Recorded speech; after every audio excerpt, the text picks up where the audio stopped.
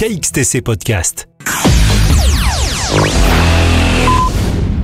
Le samedi 28 et le dimanche 29 mai 2022, à l'espace des Arts au Pradet, dans le Var, avait lieu la première édition du Salon du Livre du Pradet. Écrivain et journaliste, interview, conférences, débats. Bernard Werber nous parle de son livre Mémoire d'une fourmi.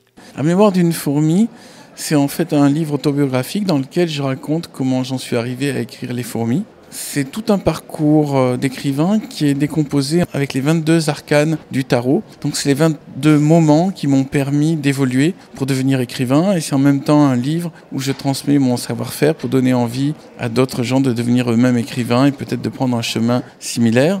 J'explique comment j'ai écrit mes livres, mais en même temps, je donne des conseils pour devenir écrivain. Je raconte les choses les plus extraordinaires qui me sont réellement arrivées dans ma vie. Mon premier livre, j'ai mis 12 ans à l'écrire, entre l'âge de 16 ans et l'âge de 28 ans.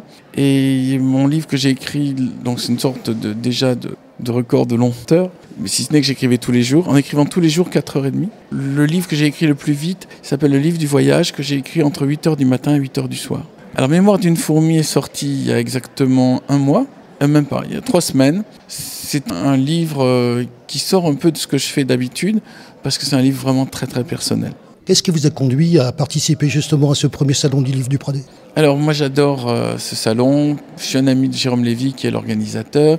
Là j'ai découvert euh, tout le système qu'il y a autour, tous les gens qui ont participé, que ce soit les bénévoles ou que ce soit les organisateurs. J'ai rencontré le maire et euh, je trouve que c'est très sympathique. Il y a un décor extraordinaire et j'adore la ville parce que c'est un lieu où je venais déjà en vacances quand j'étais jeune. KXTC Podcast.